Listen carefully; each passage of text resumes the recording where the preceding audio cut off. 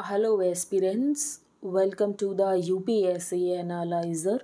Today we will discuss newspaper analysis dated 12th of February 2023. And if you are finding this analysis helpful, then please like, share, and subscribe. First news है Assam arrest, fear and suspicion keep pregnant teenagers away from hospitals. तो हम दो तीन दिन से discuss कर रहे हैं कि असम में चाइल्ड मैरिजेस के ऊपर क्रैकडाउन किया जा रहा है, लोगों को अरेस्ट किया जा रहा है, जो कि चाइल्ड मैरिजेस में इन्वॉल्व थे। अब चाइल्ड मैरिजेस के ऊपर क्यों क्रैकडाउन किया जा रहा है, इसका रीज़न ये है चाइल्ड मैरिज होती है तो उसकी वजह से टीन प्रेगनेंसी होती है इन्फेंट मोर्टालिटी रेट इंक्रीज़ होता है मेटरनल मोर्टालिटी रेट इंक्रीज़ होता है मेल न्यूट्रिशन इंक्रीज़ होता है।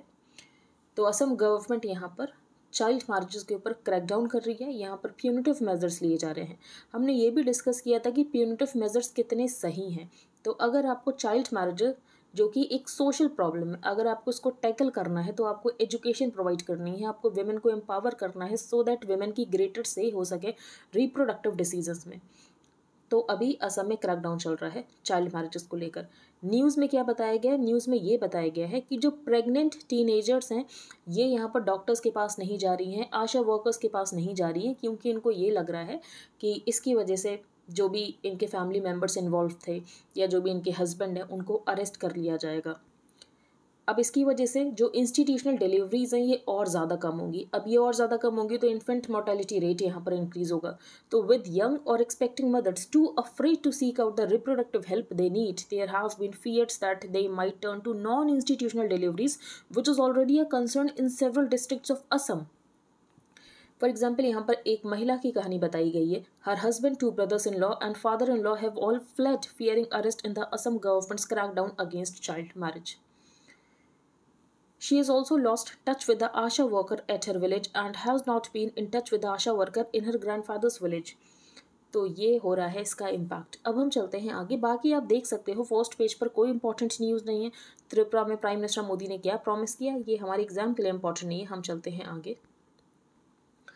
CEA notice to not retire thermal units hinders renewable energy goal. अब इन्होंने नोटिस क्यों दिया है? इन्होंने नोटिस इसीलिए दिया है क्योंकि आने वाले समय में जो डिमांड है, ये इंक्रीज़ होने वाली है। आज अगर थर्मल यूनिट्स को रिटायर कर दिया जाएगा तो डिमांड को मीट करना मुश्किल हो जाएगा। अब एक्सपर्ट्स का क्या कहना है कि अगर यहाँ पर थर्मल यूनिट्स को रिटायर नहीं किया जाएगा, उनको रिटायर करना वैसे भी ज़रूरी है क्योंकि जो इंडिया के थर्मल यूनिट्स हैं, ये पुराने हो चुके हैं, जिसकी वजह से ये अब एफिशिएंट नहीं रह गए हैं। एंड हमें रिन्यूएबल एनर्जी के ऊपर भी फोकस करना है, क्योंकि हमारा टारगेट है 2070 तक हमें यहाँ पर नेट ज़ीरो बनना है। वैसे जो हमारा टारगेट था कि हमें एक सौ पचहत्तर गीगावाट रिन्यूएबल एनर्जी गोल जो हमारा 2022 का था, इसको हम मीट नहीं कर पाए हैं।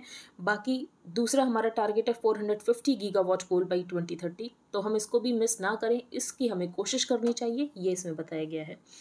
Despite India's thrust on renewable energies, a recent notice issued by the Central Electricity Authority of India to power utilities to not retire any thermal units until 2030 has alarmed experts who say कि ये इसका एक retrograde effect होगा on India's energy transition endeavors.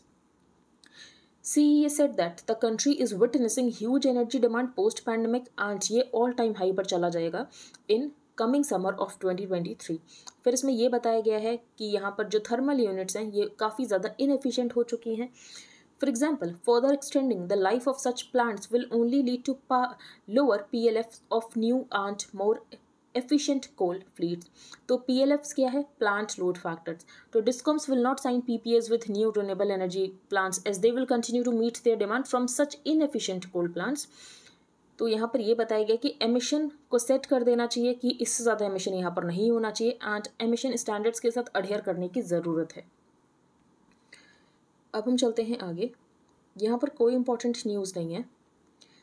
यहाँ पर इन्होंने एक बात बोली है कि जो स्टेट हैं, ये लोन्स नहीं ले पा रहे हैं क्योंकि ये FRBM को ब्रीच नहीं कर सकते हैं। FRBM क्या है? FRBM है fiscal responsibility and budget management act तो fiscal responsibility and budget management act को क्यों लाया गया था?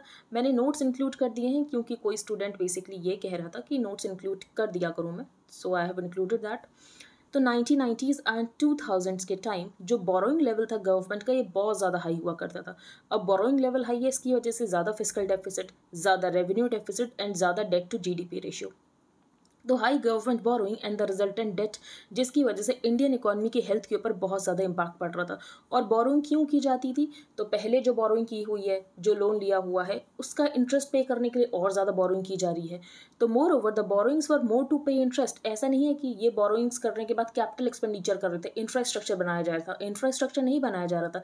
जो पहले के लोन्स लिए गए हैं, उसी का इंटरेस्ट देने के लिए और बोरोइंग की जा रही है। तो moreover the borrowings for more to pay interest than for cap and any capital formation which means that we are on the verge of falling into a debt trap. All these reasons, जिसके बाद यहाँ पर पास होता है fiscal responsibility and budget management act in 2003 इसके जो targets हैं, इसको बार बार चेंज किया गया है। Initial F R B M targets हम डिस्कस करें क्योंकि इसको बहुत बार चेंज किया गया है। These targets were schedule to be met by two thousand eight nine तो रेवेन्यू डेफिसिट यहाँ पर पूरी तरीके से एलिमिनेट करना था दो हज़ार नौ तक। बाद में गवर्नमेंट का ये कहना था कि हम रेवेन्यू डेफिसिट नहीं, हम इफ़ेक्टिव रेवेन्यू डेफिसिट ज़ीरो करेंगे। अब इफ़ेक्टिव रेवेन्यू डेफिसिट नाम की क्या चीज़ है? तो बेसिकली रेवेन्यू डेफिसिट माइनस जो यहाँ पर ग्रांट्स यूज़ की जा रही हैं कैपिटल एसेट्स के लिए तो उसको माइनस कर दो तो ये हो जाता है इफ़ेक्टिव रेवेन्यू डेफिसिट बेसिकली यहाँ पर नई नई तरीके के टर्म्स बनाना जिसकी वजह से हम यहाँ पर टारगेट्स को मीट कर लें। फ़िज़िकल डेफिसिट तो फ़िज़िकल डेफिसिट को यहाँ पर थ्री परसेंट तक रिड्यूस कर रहे हैं बाई टू थाउज़ेंड नाइन ये भी नहीं हो पाया। फिर यहाँ पर टारगेट्स नहीं अचीव हुए तो इसको अमेंड किया गया एक्ट को। N K Singh committee recommendations तो एन के सिंह कमेटी ने क्या रिकमेंडेशन दिए थे? तो सेंट्रल गवर्नमेंट का ये मानना था कि ये टारगेट्स बहुत ज़्यादा रिजिड हैं एंड ये हमसे नहीं हो पाएगा. So it set up a committee under N K Singh to review the F R B M act the committee suggested using debt as the primary target for fiscal policy की revenue deficit ये सब आप छोड़ दो, आप सिर्फ़ यहाँ पर फ़िज़िकल डेफिसिट के ऊपर फोकस करो कि फ़िज़िकल डेफिसिट यहाँ पर 2023 तक अचीव करना है। अब ये भी अचीव नहीं हो पाया। रीजन पैंडमिक आ गया था, जिसकी वजह से गवर्नमेंट की बोरिंग यहाँ पर ऑल टाइम हाई चली गई थी। तो एफ़ एक्ट की वजह से लिमिट्स लगती है, ऐसा इनका कहना है। ये जो राजस्थान के चीफ मिनिस्टर हैं, इन्होंने बजट अभी निकाला था तो उसके बाद इनका इंटरव्यू चल रहा था। तो इनका ये कहना था कि यहाँ पर बहुत मुश्किल होता है, क्योंकि जो स्टेट है, ये ब्रीच नहीं कर सकता है एफ़ आर बी एम को। अब हम चलते हैं आगे। Government to tailor India tourism offerings based on visiting countries profile तो इंडिया को हम एक टूरिज़्म पोटेंशियल जो इंडिया का है, हम इसको हार्नेस करना चाहते हैं, इंडिया को एक टूरिस्ट हब बनाना चाहते हैं। अब अगर हम इंडिया को टूरिस्ट हब बनाना चाहते हैं तो one size fits all approach काम नहीं कर रही है, ठीक है? तो अब क्या किया जाएगा? अब हर कंट्री की प्रोफाइलिंग की जाएगी कि इस कंट्री में यहाँ पर कौन से एज ग्रुप के लोग हैं, क्या इनकी इनकम प्रोफ़ाइल है? तो इनको इंडिया का कौन सा हिस्सा सबसे ज़्यादा पसंद आएगा? तो उस हिसाब से यहाँ पर टूरिज़्म को प्रमोट किया जाएगा। तो in order to market its tourism offerings better the government will project different aspects of India to different countries for example India will pitch itself as a destination for culture France के लिए। While adventure tourism and the Buddhist circuit ये market किया जाएगा Thailand को। In the case of Russians the need is to expand beyond the spectrum of tourism beyond Goa and Kerala तो there is the realisation की one size fits all approach India को promote नहीं कर पा रही है as a tourist destination to foreigners जिसकी वजह से हमें यहाँ पर रिज़ल्ट नहीं मिल रहे हैं। तो यहाँ पर क्या किया जाएगा? यहाँ पर कंट्री की प्रोफाइलिंग की जाएगी एंड उसके बाद डिसाइड किया जाएगा कि इंडिया का क्या चीज़ इनको मार्केट की जानी चाहिए कि ये इंडिया में आएँगे? The plan to customize tourist offerings is meant to appeal to different country profiles by making the most of India's diversity the factors that will be kept in mind to design the new strategy कि उस country का age group क्या है income profile क्या है of the tourist from a country their gender connectivity with the country अब हम चलते हैं आगे. Years first launch set stone for a busy 2023 for ISRO says space agency chief तो यहाँ पर क्या क्या प्लान किया गया है 2023 के लिए? तो L V M three that will carry thirty six OneWeb satellites by mid March तो लास्ट ईयर भी हमने डिस्कस किया था कि छत्तीस सेटेलाइट्स यहाँ पर लॉन्च की गई थी वन वेब की. तो वन वेब यहाँ पर प्लान क्या कर रहा है? तो वन वेब यहाँ पर क्रिएट करने वाला है। 588 सैटेलाइट स्ट्रॉन्ग कॉन्स्टलेशन क्यों? कि high speed low latency global connectivity यहाँ पर प्रोवाइड की जा सके। यहाँ पर नाविक की बात की गई है India satellite based navigation system तो फॉर एग्ज़ाम्पल जैसे जीपीएस है यूएसए का तो वैसे ही नाविक लेकिन नाविक यहाँ पर रीजनल है जीपीएस ग्लोबल है। An autonomous regional satellite navigation system, also known as Indian Regional Navigation Satellite System, is developed by ISRO. तो इसको यहाँ पर डेवलप किया गया है नाविको बाई इसरो चार ग्लोबल सिस्टम से GPS from the US GLONASS from Russia Galileo from European Union and BeiDou from China दो रीजनल सिस्टम है तो एक इंडिया का नाविक एंड दूसरा है फ्रॉम जापान ठीक है? तो आपको बस ये पता होना चाहिए कि नाविक है क्या। अब हम चलते हैं आगे। Create a development body link Kosi and Mechi rivers तो कोसी को सौर ऑफ़ बिहार भी कहते हैं। बिहार में बहुत ज़्यादा फ्लड्स आ जाती हैं कोसी की वजह से। तो PIL against flooding in Bihar तो हाईकोर्ट ने सेंटर और स्टेट को ये कहा है कि आप एक डेवलपमेंट बॉडी बनाओ और कोसी और मेची को यहाँ पर लिंक कर दो। The Patna high court has directed the centre and Bihar government to set up Kosi development authority and interlink Kosi and Mechi rivers to tackle annual floods often caused due to excess water discharge from Nepal Bihar government ने assess किया है कि 2011 से अब तक 12,000 करोड़ का नुकसान हो चुका है बाढ़ की वजह से। The Kosi river has earned sorrow of Bihar regarding the funding तो इसकी फंडिंग कैसे होगी? तो sixty is to thirty is to ten तो सिक्सटी परसेंट सेंट्रल ग्रांट होगा थर्टी परसेंट सेंट्रल लोन होगा एंड टेन परसेंट यहाँ पर स्टेट का शेयर होगा. आगे हम चलते हैं. यहाँ पर एक लोकेशन है. तो लोकेशन इंपॉर्टेंट हो जा रही है क्योंकि प्रिलिम्स में लोकेशन बेस्ड क्वेश्चन आने लग गए हैं. तो यहाँ पर बात की गई है. कहरा मनमारस ये टर्की में है, ठीक है? अब टर्की बहुत ज़्यादा न्यूज़ में है. टर्की में अर्थ को एक आया है, जिसकी वजह से हम टर्की की ही न्यूज़ डिस्कस कर रहे हैं. Olympics row thirty five countries demand की रशिया और बेलारूस को यहाँ पर बैन कर देना चाहिए। अगर हम ब्राज़ील की बात करें तो ब्राज़ील में कुछ टाइम पहले वायलेंस हुआ था। वायलेंस क्यों हुआ था? क्योंकि जायर बोलसोनारो के जो सपोर्टर्स हैं, उनका ये मानना था कि इलेक्शंस यहाँ पर रिग्ड हैं एंड जायर बोलसोनारो यहाँ पर नहीं हार सकते, जिसकी वजह से उन्होंने यहाँ पर वायलेंस किया था। ब्राज़ील के जो प्रेसिडेंट बने हैं, ये हैं लूला डा सिल्वा। इनको ही ज़्यादा वोट्स मिले थे, लेकिन वो जैसे डोनाल्ड ट्रंप के साथ हो गया था कि डोनाल्ड ट्रंप के यहाँ पर सपोर्टर्स नहीं मान रहे थे कि डोनाल्ड ट्रंप यहाँ पर हार गए हैं। एंड डोनाल्ड ट्रंप का भी ये कहना था कि इलेक्शन यहाँ पर रिक्ट हैं, जिसकी वजह से उनके सपोर्टर्स ने यहाँ पर कैपिटल हिल के ऊपर वॉलेंस किया था। सेम ऐसा ही कुछ सैनरो ब्राज़ील में हुआ था। तो जो लूला डा सिल्वा हैं, जो प्रेसिडेंट बने हैं ब्राज़ील के, ये विज़िट करने गए थे यूनाइटेड स्टेट्स को। कुछ टाइम पहले इन्होंने यूक्रेन को वेपन्स देने से मना कर दिया था। इन्होंने यूक्रेन को वेपन्स देने से इसीलिए मना कर दिया था। ऐसा नहीं है रशिया को सपोर्ट करते हैं। इनका ये कहना है कि हम यहाँ पर न्यूट्रैलिटी मेंटेन करना चाहते हैं। हम ना ही रशिया को सपोर्ट करते हैं और यूक्रेन को हम सपोर्ट तो करते हैं, पर वेपन्स हम नहीं प्रोवाइड करेंगे। Next Brazil president in White House talks on climate democracy President Joe Biden and Brazilian President Lula da Silva met at the White House on Friday and reflected कि इनके nations को कैसे test किया गया in their battles to preserve democracy with the US president declaring that democracy ultimately prevailed क्योंकि यहाँ पर जो बाइडन बनने चाहिए थे प्रेसिडेंट जो बाइडन बने एंड ब्राज़ील में लूला दा सिल्वा बनने चाहिए थे तो लूला दा सिल्वा बने amid medical crisis indigenous Amazon people on streets तो यहाँ पर यानो मामी की बात की गई है। यानो मामी के बारे में हम पहले भी डिस्कस कर चुके हैं। Yanomami and indigenous people from the Amazon rain forest who traditionally live in relative isolation लेकिन अब ये बाहर आ रहे हैं। क्यों बाहर आ रहे हैं? क्योंकि इनके यहाँ बीमारियाँ फैल गई फॉर एग्ज़ाम्पल मलेरिया हो गया है लोगों को। तो amid medical crisis indigenous Amazon people on streets for example आपको ये होमलेस लोग लग रहे होंगे, लेकिन ये होमलेस लोग नहीं है। ये यहाँ पर यानो मामी है। Indigenous people हैं from the Amazon rainforest who traditionally live in relative isolation years of neglect during the previous government of far right president Jair Bolsonaro जिसकी वजह से यहाँ पर health crisis होगी that got worse while illegal gold miners swarmed into their territory और जिसकी वजह से इनको वहाँ से बाहर आना पड़ रहा है अब हम चलते हैं आगे इकॉनमी पेज पर यहाँ पर बात की गई है इंडिया में gain from lower inflation if prices stay low अब जैसे रेपो रेट को इंक्रीज़ किया जाता है तो ये कहा जाता है कि लोन्स यहाँ पर महँगे हो जाएँगे लेकिन इसके ऊपर भी आरबीआई को फोकस करना होता है कि डिपॉजिटर्स को क्या फ़ायदा हो रहा है क्योंकि अगर डिपॉजिटर्स को फ़ायदा नहीं होगा तो वो अपने पैसे बैंक में रखेंगे ही क्यों Second thing is that when interest rates are rising, there is also somebody called the depositor. His interest has to be taken into account. For example, आपको बैंक में डिपॉजिट पर इंटरेस्ट रेट मिल रहा है पाँच परसेंट और inflation सात percent है। तो बेसिकली ये तो नेगेटिव रियल इंटरेस्ट रेट हो गया ना। आपको तो यहाँ पर नुकसान हो रहा है। तो ये कोशिश की जाती है कि यहाँ पर पॉजिटिव रियल इंटरेस्ट रेट रहे। कि अगर आपको डिपॉजिट पर पाँच परसेंट मिल रहा है तो इन्फ्लेशन यहाँ पर चार परसेंट रहे। एटलीस्ट आपको एक परसेंट का तो फ़ायदा हो। तो आरबीआई यही कोशिश कर रहा था क्योंकि पिछले तीन साल से नेगेटिव इंटरेस्ट रेट हमें देखने को मिल रहे थे। नेगेटिव इंटरेस्ट रेट का मीनिंग सिर्फ़ ये है कि मार्केट में इन्फ्लेशन कितना चल रहा है और आपको इंटरेस्ट रेट कितना मिल रहा है। फॉर एग्ज़ाम्पल आपने यहाँ पर कोई बॉन्ड ले रखा है। बॉन्ड में आपको यहाँ पर चार परसेंट मिल रहा है और इन्फ्लेशन यहाँ पर सात परसेंट तो आपको यहाँ पर तीन परसेंट का नुकसान हो रहा है।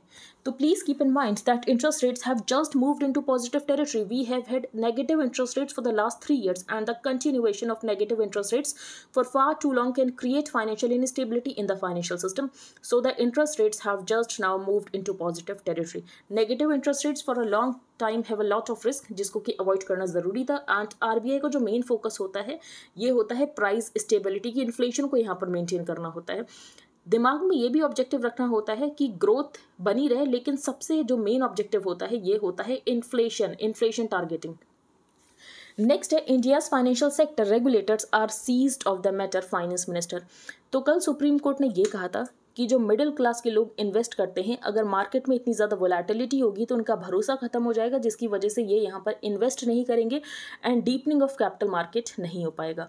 अ थ्री जज bench headed by chief justice of India on Friday pointed out that the stock market has seen the rising presence of the middle class and there was a need there for to scale up security measures in tune with India changing status on the world stage G twenty tourist can use U P I at select Indian airports अब ये कैसे use कर सकेंगे, उसका यहाँ पर पूरा procedure बताया गया है। प्रोसीजर इंपॉर्टेंट नहीं है, लेकिन एक बार हम देख लेते हैं।